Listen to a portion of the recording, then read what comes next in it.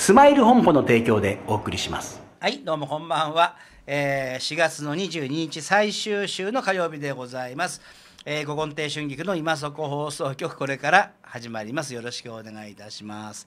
ちょっと今日はね、天候がちょっと不順な感じでございましてね、降るような、降らないようなというそんな日々でございますけれども、まあ今日はなかなかね、いろいろニュースも流れてきまして、あのー鉄人と言われた衣笠幸代さんがねお亡くなりになってつい最近までなんかテレビの解説で出てたらしいですけどもね、えー亡くなっちゃったということでございまして、まあ、別に何の考えもないですけども とりあえずは触れてみたという感じでございます。はいまあ、そんなことで今日はねあのというか今日というか、まあ、あの先週からちょっとあの、えーちょっとショートツアーに出ておりまして、えー東北をぐるぐるっと回ってまいりました。えー、と今回は、えー、といつもあの、まあ、支援の旅で笑いを届けるってことを中心にして、まあ、自分たちのプライベートはもう二の次三の次にして、えー人のため人のために、えーもうお酒も飲まずに活動してるんですが今回はあの、えーそこはちょっと一箇所だけ言い訳程度にやってあとは全部飲み食いの旅ということで東京からあの出演者は私と浜さん以外の4人お客さんを乗せてですね、えーぐるっと回ってまいりまして、まあ、その東北の素晴らしい美味しいものを食べてもらおうということで、あの海産物に四季があるということがですねやっぱり東北に行って私が気が付いたことの一つなんですけどもその中で今、えーちょうどですね走りが牡蠣と、えー、ホヤこの2つ走りがあとそれからそううちらがちょうど着いた日に気仙沼にねかすカツオの初煮が上がったんですね。というところへんをちょっと食す旅を、えーしてまいりましてちょっと面白かったですね。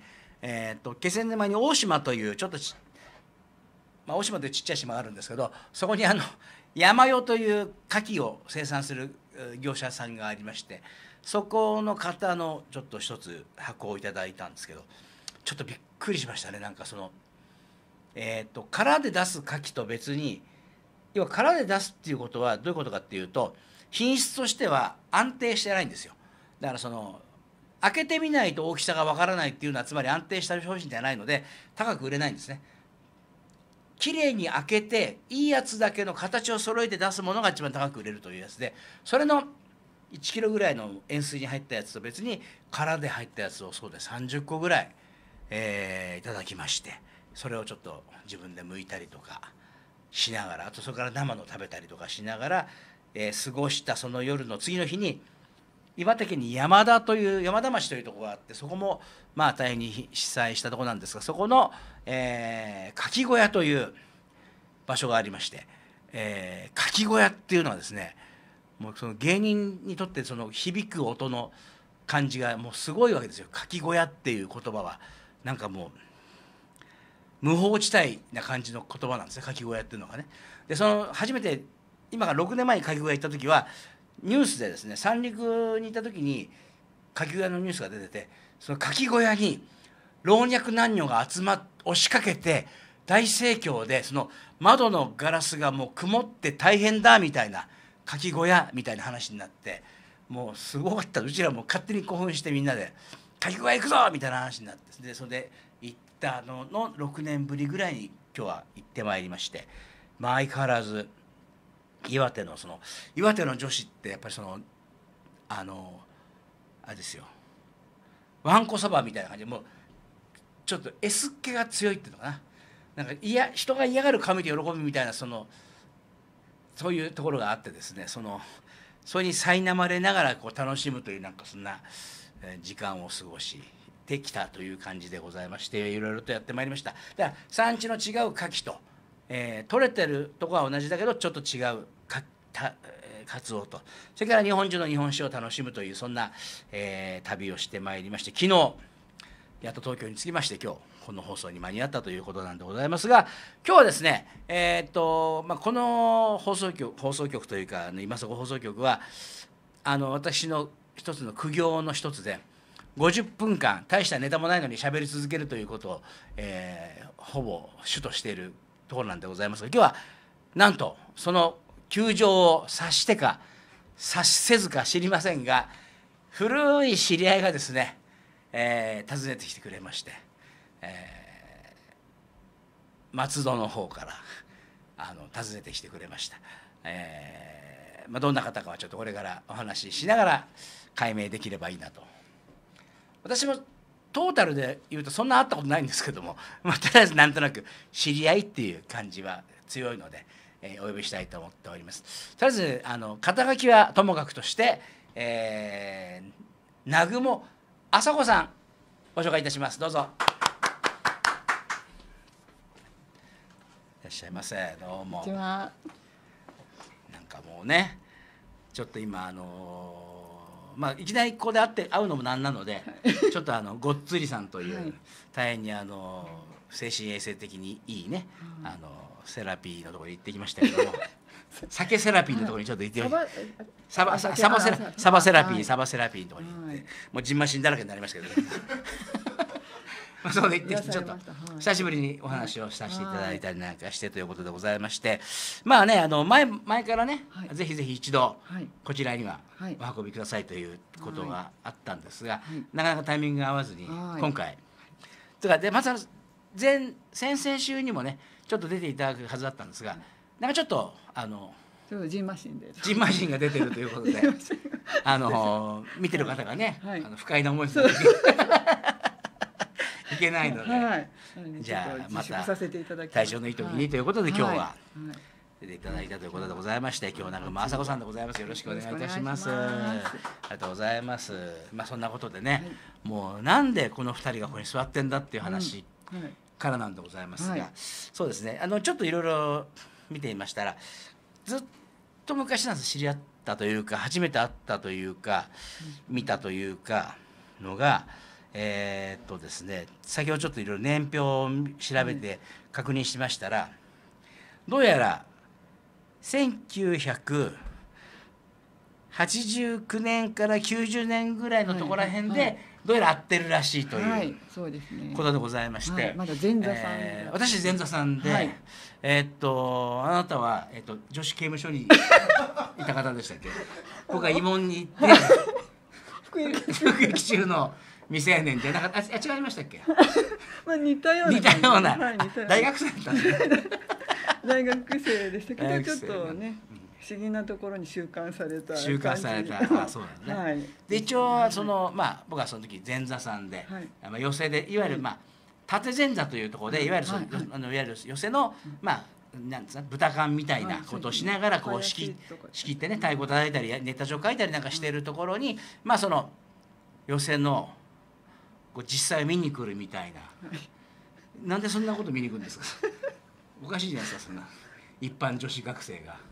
一般一般女子学生ですけど、はい。あの部活？部活？部活？特殊な部活に入って特殊な部活ですか？はい、はい。それは何？あの日比谷公園で大車輪回るとかそういうそういうんじゃなくて何かそのはい。何かまあ伝統芸能ですけどね。古典芸能というかは伝統芸能能みたいなものをこうちょっはい。とお勉強するみたいないわゆるね部活。落ち研落ち研はい。今死語ですよね、えーそうですね。はい、えー数字ない。ローマ字で OCHIKEN というやつで落ち研というところではい。今もう映画のあれにもなりませんよ落ち研なんてね。ねもうのようなものみたいにあわけにいかないですよもうね。うん。今もうだってそうですよ。でもすごく真面目に研究はしていたので。真面目に研究あ、はい。あのまあもともとねいおらいらっしゃった学校は、まあ、ちょっと真面目にやるはい。偉い方が一人はい。いらっしゃって、はい。青とかなんとかって人がいて、はい、はい、え真面目でもない。真面目じゃないですねまあとりあえずまあ、ちょっと、はい。ちょっと名の通った人がね、はい。い、たんですよね、はい。なのでまあその、えー流れを組む 一派として。はい。でなんか発表会がなんかあったんですか？その取材にしたっていうのは。あとそれはですね、はい。年に1回、うん。冊子をいわゆる、まあ、本当に研究冊子ですようち落語の。真面目なやつですか、はいもうもう、まあ、話についてとか。内体なんとかだそういうそういうんじゃなくてですね。もうそういうはい。のを書か書かなくてはいけなくてあそれはもう。冊子にこう文章を載せなくてはいけない。そういうはい。みそぎのようなことがあるわけです。あるんですあるんです。低学年に1年の回、はい、低学高学年です高学年でね。ありままああ。ありまして、でそこでまあそれぞれまあ各々まあ話の研究で載せてる人もいれば。うん。私はその時うん。に寄席の研究だったんですかね。寄席の研究で。寄席と、まあ、そういう落語社会のこう圧力 弊害みたいなをちょっと研究して文章を書こうということであの顧問の先生にご相談した時に、うん。じゃあ鈴本のね石庭線をご紹介してくれると。で石庭さんから、うん。じゃあ前座さん紹介するよと、うん。でお話を聞けばいいんじゃないのっていうことでご紹介していただいたのが春菊師匠。そうなんですね、はい。はい。ちょうどその時に落語協会にはい。OB が一人いたんですよ、はい。北村っていうのが、はいなのでその経由かと思ったらそうじゃなかったんですね。あ違います。鈴本から来たんですね。そうですそうです。石鈴木さんからね。はいそうです鈴木社長から。鈴木ねあのねえねえから来たんです はい。ねえねえみたい大塚ねえねえみたいな名前の人でね鈴木やすしやすしそうですそうですそうあじやすしあれ？はい、今もうね現場にいないんですよ。今せがれさんがやってて。あそうでも代々。代々なんですけどもう一応代々なんですけど一応もう本人はもう、えー不動産業に。あやんちゃってせがれさんが今やってて結構みんな困ってるらしいですけど、まあそんなことで来てくださって、はい。でそれどどうだった？んですかちゃんとその成果は出たんですか？あんまりちゃんとねその何取材されたか覚えてないんですけど、はい。なんかそのあのほらあんまりその寄席の楽屋って若い女の子とか来ないじゃないですか、はい。あ若い女の子来たなっていう感じでしかあんまり覚えてないんで、そ そのだからその研究発表みたいなはい。成果みたいなものははい。あの送られても来なかったので。そう。大変失礼しました、ええはい。あれあのままで。はい、はい。ただ邪魔しにした人が何人か まあ話だけちょろっと聞いて。ちょろっと聞いて、はい。そうなんですね。まあ、前座そのお仕事的なところをはい、多分書いて。なんか垣間見ましたか、はいはい垣間見あの時でなんか覚えてます？今今でもその話がやってる人が当時いたのいた感じ楽屋とかには。あ楽屋。え他には覚えがないです。全然覚えてないですか？誰がいたとかは。はい。その後その人が二つ目になって真打ちになったっていうのをあーって確認するような人はいなかったですか？いないかと思います。はい、記憶にございません。はい。あ太平さんとかと一緒に会ったのは別の別の別です別です。あの太平さんと一平さんは飲み会でした。はい。なんかなんかきっと予選の打ち上げあ予選の興行終わりかなんかの見に来て見に来たのかなそうじゃないあの一平さんと太平さんの話を聞いた覚えがないので、多分ただ飲み会にだけ行ったような気あがじゃあなんか打ち上げがあるからなんかじゃあ絶対待ち合わせてなんかはいはい上野かなんかで上野かな？新宿かな？どどこでしたかね。上野じゃなかなったよう上野じゃなかった？浅。草とか。うん。まあ別に大事なことじゃないですねはい。どこでも。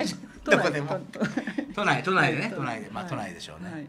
あそうなんだ。でその時じゃあもうじゃあ今その今商店のねはい。出てる太平。あ二人とも出てんだ。そう三平も出てんだもんね。商店に今。最近商店見てないんですけど。今出てるんですよ。三平もいるんですよ、はい。じゃあその商店メンバーの二人と飲んだことがある、はい。それはすごい。あります。もうね。春菊師匠のおかげで。や何をおっしゃいますか。ありがとうございます。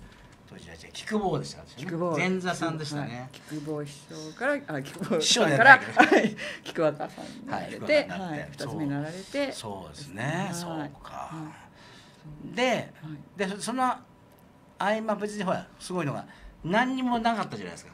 はい。あのフェイスブックでつながるまで。何にも何にも。ああちょっとあのあのはおはがきとこ行ってあそうですね。そそれはやり取りね。やり取りはしてました、はいはい。してましたしてました。はい。だから大事なんだよやっぱりね。そういうあのデジアナログなことがあるからこそつながれるってきっとね、おはい。思い出すじゃない？なんか、はい。ね。そうそうはい。そうなんです。うん。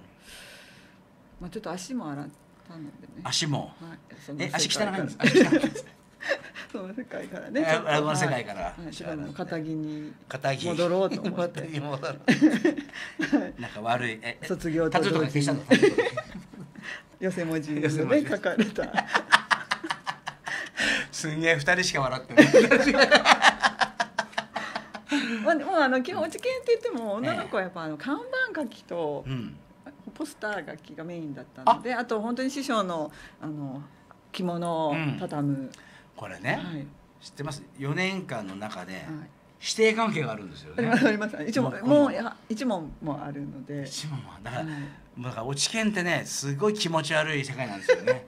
うちらからするともう、なんて気持ち悪いんだと思う気持ち悪い世界で、はい。だからその僕の知ってるはい。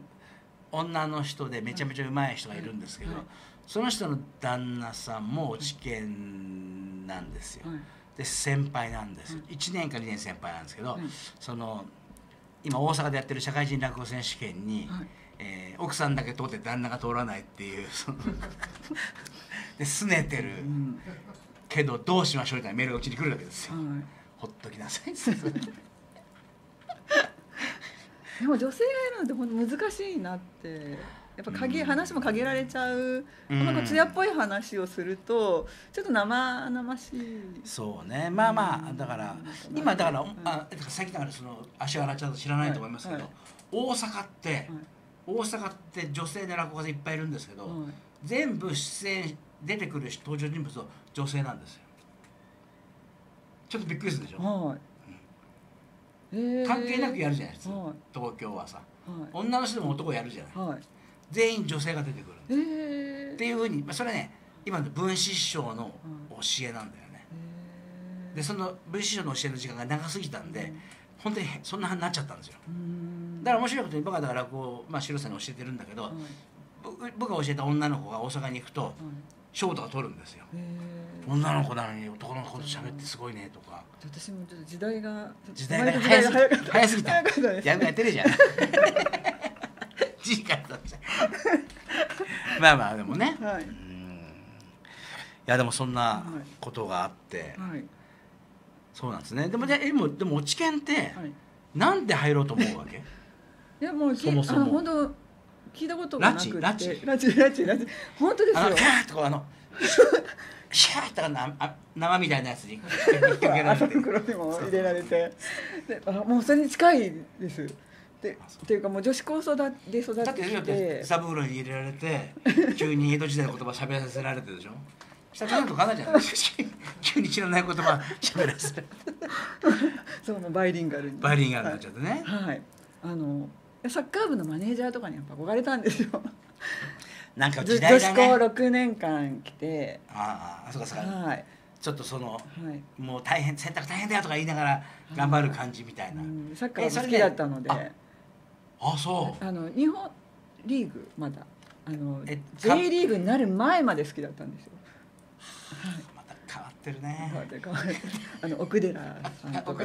ああ奥寺か。とか。たドイツに行ったね、はい。柱谷選手とか。はいはいはいはいはいはいはい津波さんとか、はいはいその辺のはいじゃあもうしょっちゅうリリアルな、はいはいあの、はいあの人たちのね、はい侍たちですよあれは、はい、が現役の時にずっともうね見に行ってたんですけどまあちょっと受験とかで一回やめ見にななくなっちゃってでまあ大学入ったらサッカー部のマネージャーになろうとうん。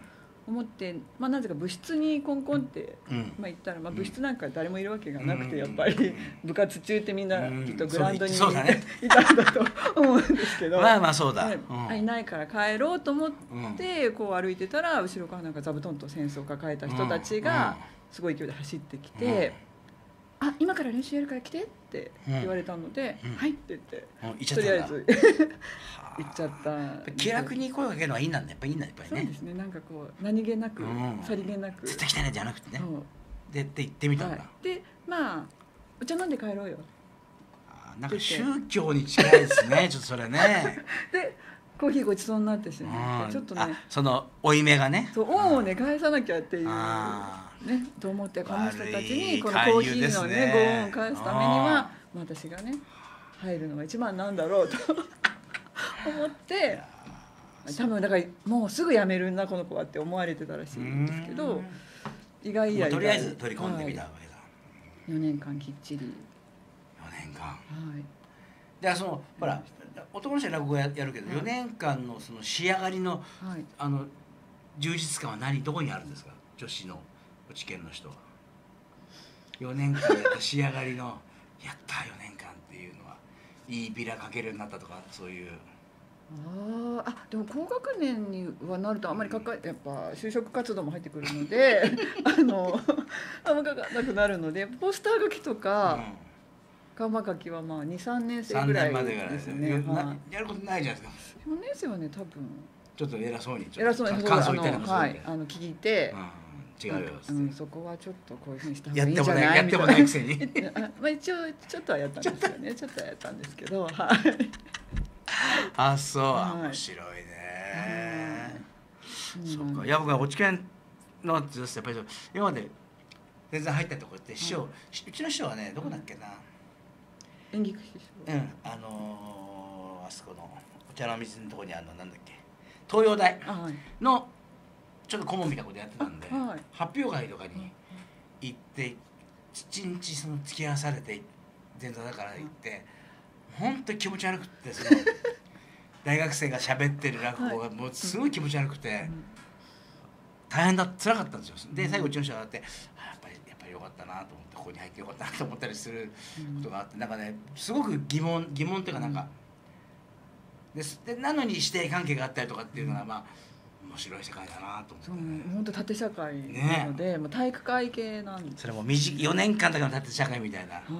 あでもそうかあでもどんどん来るも OB があ来るから来るので、まあ、めんどくさいな遠目に見つけるともう立って挨拶みたいな。落語落語なのに正座してっても立って挨拶みたいなそうでしたね。正座って挨拶が一番丁寧なのにねそれはねそうですよね。ちゃんと立ち上がるわけだとはい。そう。面白いね。なんか変なああいうのって面白いんだよね。あの前座もそうなんだ。前座の4年間って前座だけのルールみたいなのあるわけですよ。やっぱりその確かに体育会系に近いとこあるかもしれない、なんかこの短その短い中の上下関係があるからね、ああそっか。なんかそんなのあんだろうな。なんかな。なんかなんかやっとかなきゃいけないみたいな感じになっちゃうのかな。なんかね。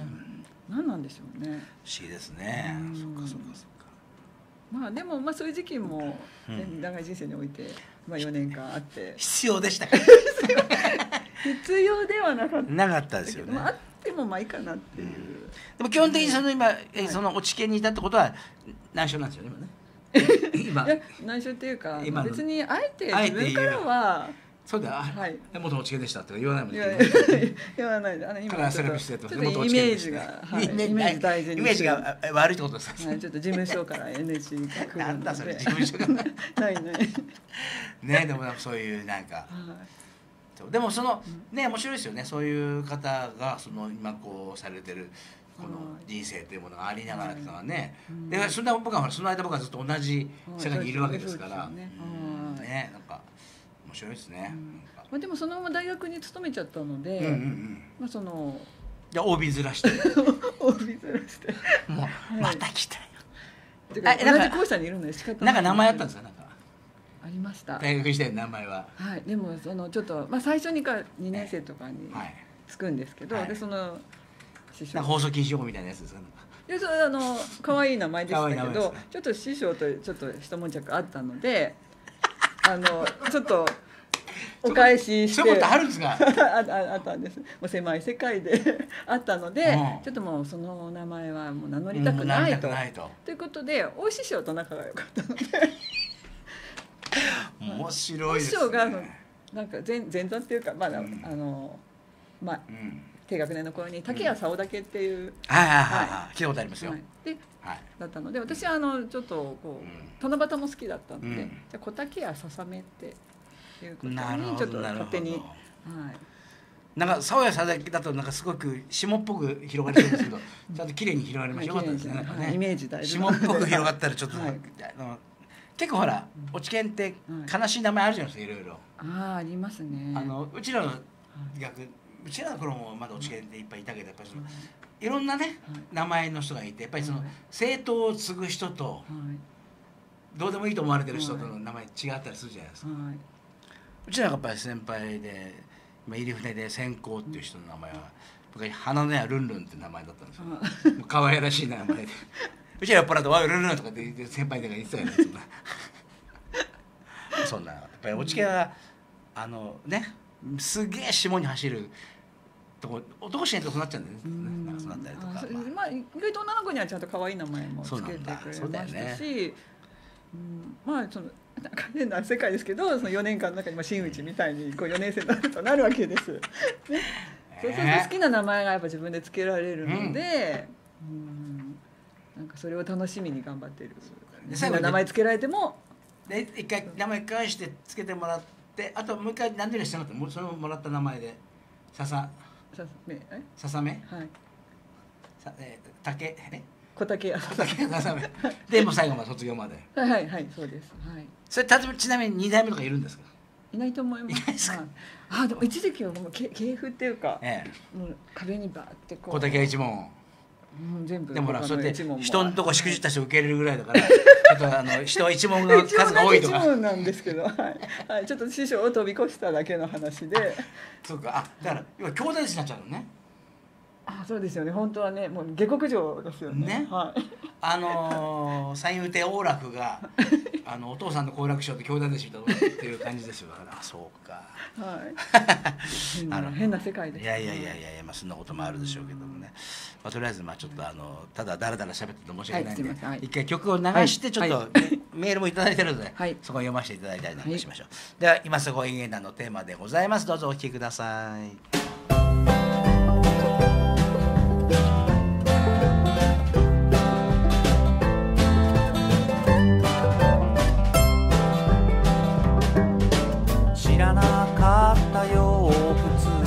話し笑うことがこんなに素晴らしいことだったなんて。本当バカだったよ大事な時に何するべきかちっとも考えずに暮らしてたなんて。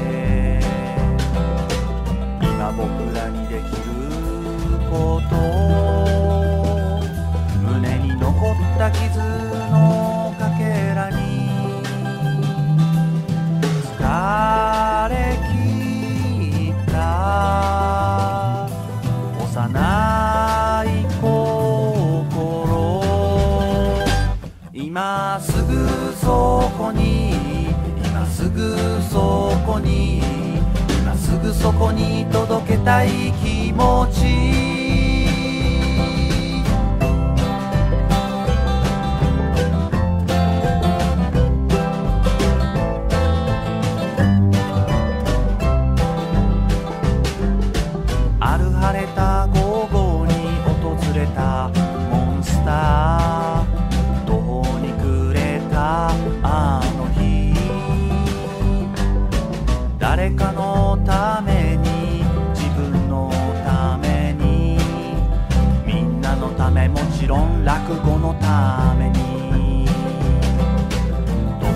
なことをしたいんじゃない。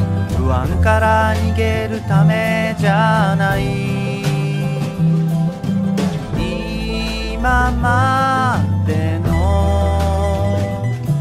恩返しのために今すぐそこに今すぐそこに。に届けたい心。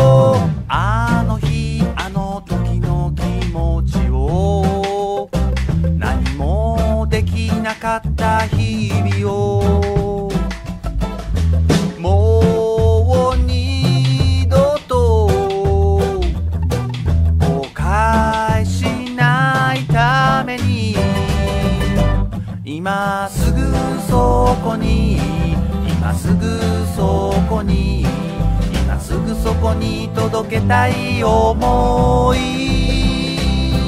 今すぐそこに今すぐそこに今すぐそこに届けたい届けたい。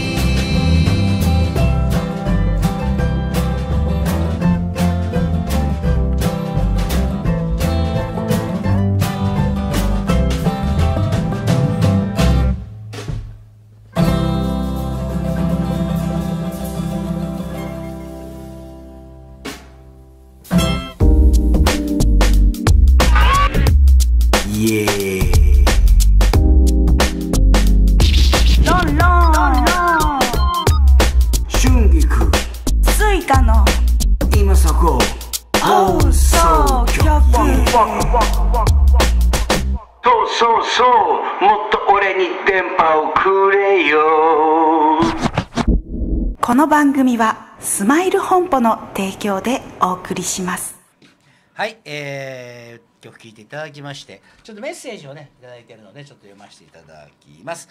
えー、師匠こんばんは、えー、デニコです。東北東北さんお疲れ様でした。あちらは桜桜が見頃だったでしょうねと。実はこれがね見頃じゃなかったもう終わってましたねさすがにね。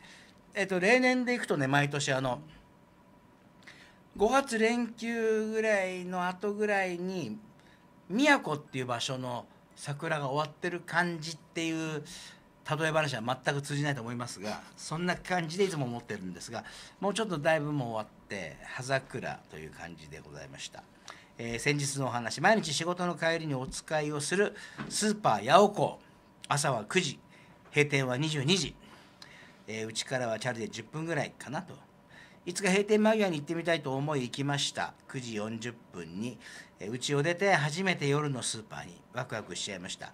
お客様はまばらで仕事帰りのサラリーマンがちらほらパンが半額になってる。お魚売り場に行ったらさっき買った稲田の刺身がなんと200円で売ってた。ちょっとショック。閉店間際のスーパーは安いと噂に聞いていたがこれほどに安いとは。ぐるっと一回りしたら蛍の光蛍の光が流れてきたから慌ててレジへ。そしたら仕事帰りに会った店員さんがいて私に「どうしたんですか?」でスーパーでどうしたんですかって買い物じゃん。それさっき来たのにまた来ているから聞いたのかな。帰り道チャリこぎながら笑ってしまいました。なかなか夜のスーパーもおつなもんですと。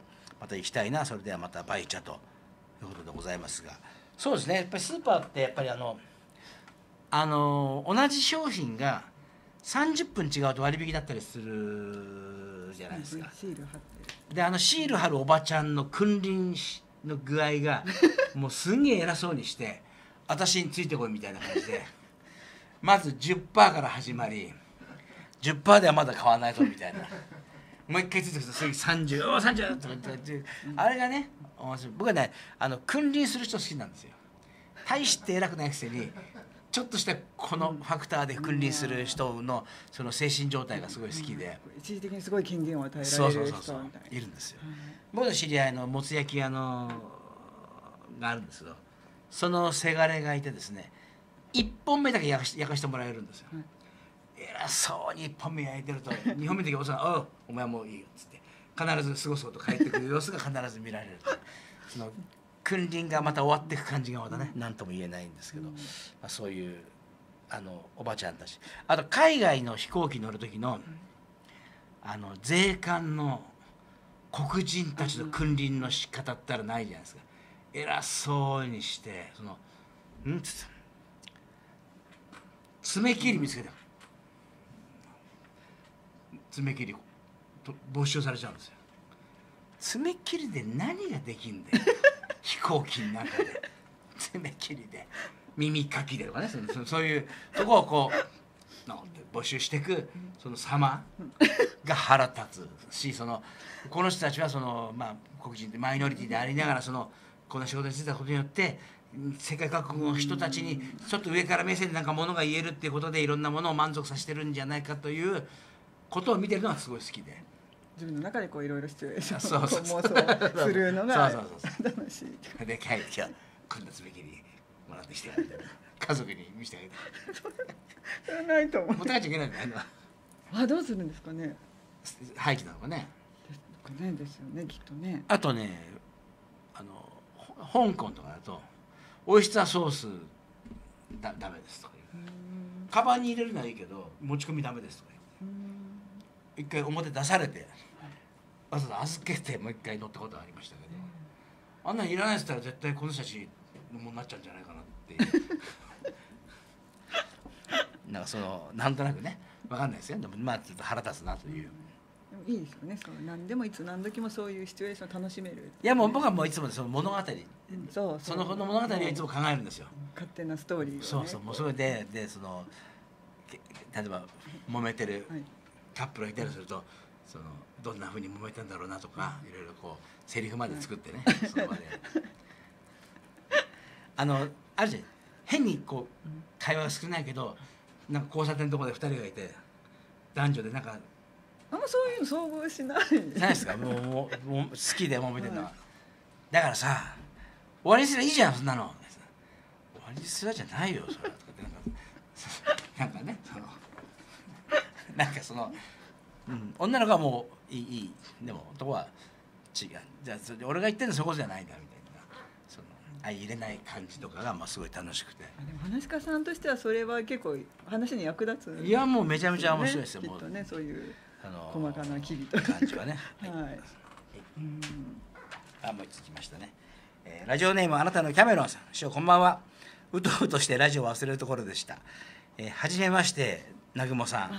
こんばんはキャメロンです。あ素敵なお名前、えーえキャメロンさんね、はい。これ本名ですか、ね、素敵。クリスチャンネーム。素敵なお名前ですね。はい。あのか棺桶にはキャメロンって焼き印が押されたりする。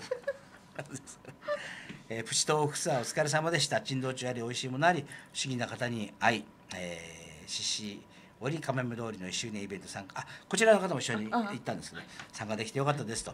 ちょうど選挙期間中でついでに参加した人の応援してみたりと楽しかったですねとそして美味しいごちそうと美味しいお酒堪能しみんなで楽しい時間を過ごせました。いよいよ今週末29日日曜日西新井氷川神社で話の会がありますので皆様ご来場お待ちしております。長雲さんもぜひ遊びに来てくださいねということでございます、この会は実はですね今回ね、あの僕いつも3席やるんですけど、はい。今回は2席なんですよ、はい。で実はあの現林家正楽師匠はい。にお弟子さんがはいて一人はもう寄せ入ってるんですが一人入ってない女の子がいるんですよ、はい。その子の実はちょっとまあその難しい師弟関係も難しいんだけど、その話し方とはまた別のやっぱり人前でやらないとうまくならないじゃないですか、うん。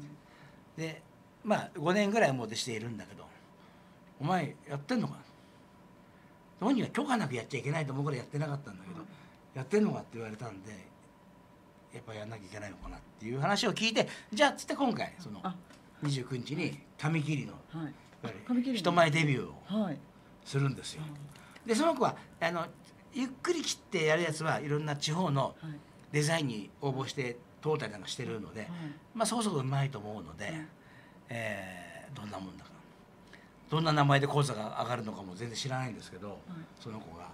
あそういうこ講座名っていうか。講座名ないと思うからきっとああうん、だからまあ林家ですからね、もう亀切りなんでペーパー 一人でペーパーを両方名乗るという。一人二役そう一人だけね。でもいいかなという感じで。いう感じもいいかなと思ったりなんかしてるんですが、まあ、そんな人もしてくれますので、ちょっと僕は一席ちょっと長い話をちょっとやるんですよ。あの100年目っていう話があって、はい。ででまあ実は前回僕2番煎じっていう話をやって、で100年目も昔やって2番煎じも昔やって若い頃やってなんだこれと思ったんですよ。なんだこの話と思ってやったのがこの年になってやってみるとなるほどと思うことがいっぱいあってで実は僕あの前座の頃にうちの師匠と一緒にあの車で仕事やった時にまあいろいろなんか話をこっちから話しかけなきゃいけない時にやっぱりなんかだんだんネタがなくなってくるんでこの間そば師匠の話聞いた時これこれこれこれこういうとこのこういうの後にパッて一言がどうやったら大きな声でつ言っちゃうところをファッと言ってファッと受けてっていうのがすごい良かったですね。であれの何ですかねっつったら師匠がまあ僕はちょっと25ぐらいなんですけどまあこれな50過ぎねえと分かんねえなって言われて早く50過ぎやがなと思って待ってたんですけど。で50過ぎて今こういうのちょこちょこそういう昔やって自分でもうなんだか分かんなかった話がなんとなく分かってきたりとか人前でできるようになってくるのがちょっと面白くて、うん、なんかやっぱり落語家っていうのは面白いなと思ったねこの職業がね。その年とともにこうずっと経てくことによって何か変わっていくことがあの実はねさっきちょっと話したあのさっき年表みたいなの作った時に、あのあんまりそんな大きなえ変化変化って話し家人生ないんですよ。そのだから入門と2つ目真打ちぐらいですよ。ね、でそれ以外はあと個人的なことですね、初対持つとか子供生まれるとか師匠が死ぬとか自分が教会辞めるとかそういうことしかないので。だそういうだからなんかほらなんかちょっとちょっとリセットじゃないけど、はい。スパッとしたい時があるはい。なと思うすごい思ってたのずっと。はい。だそれがだからこの50っていうのを年をこうなってみるとなんかいろんなものがこうす捨てるというか、で面白いことにその例えば100年目でしょ？僕やるでしょ、そうすると俺もしかしたらこの話って今回やった後もしかしたら死ぬまでやんないかもしれないっていう話が出てくるわけですよ。はい。これを最後に生涯やんなくなるかもしれない話がだんだん出てくるっていうのがちょっと面白くて。はい。うん。ああそうですよね、うん。でもねもそう。うあれだけの数の話があってやっぱと話家さん独自の好きあのもう地ネタじゃないですけども、うんうん。この人のこの話っていうのがね、あったりするのでそれ楽しみにやっぱされちゃうとそれ多くなったりとかやっぱするそうでしょ。ですよね。り僕なんか270個ぐらい覚えたけど、はい今から270個全部やるわけないわけだから人すでにもう半分以上やらないわけですよ、うん。きっと。だからこの先だから何をやっていくかとかっていうことがそのなんなんだろう自分のその死に方の、に通じてくっているような感じがして、ちょっと面白いんだよねでもでもさ逆にそのやらないと思った話を抗ってやる必要もないしと思って、うん。うん。うんでだんだんほら話ってやっぱり面倒くさい話やらなくなってくるんですよやっぱり。なんか。あの一一一個覚えてなきゃいけない話とか、はい年寄ると面倒くさいんですよ。はい。あのふわふわっとできる話がはい。楽しいので、そのなんとなくの記憶の片隅のなんだろう。宇宙の塵を集めて地球を作るみたいな。そんな そんなことになってくるんで、うん。面白いなと思っているんでございますが、でもあの話し家さんになろうと思ったとか、あの落語うん、に興味を持ったのはいつなんですか？落語も小学校の時から。何かきっかけがあったんですか？あのねうちの、まあ、実家はしちょっと商売してるんだけど、はい。そやっぱりそこにやっぱり芸好きの人がいて、子供に教えたがりなんですよ。い。いですよいるじゃない。でそれで受験もはい覚えさせられちゃって、はいで小2か小3の時に学校で、うん。それこそ休憩時間の時に急に教団のとこ座って正座して始めてびっくりしちゃってですげえ受けて。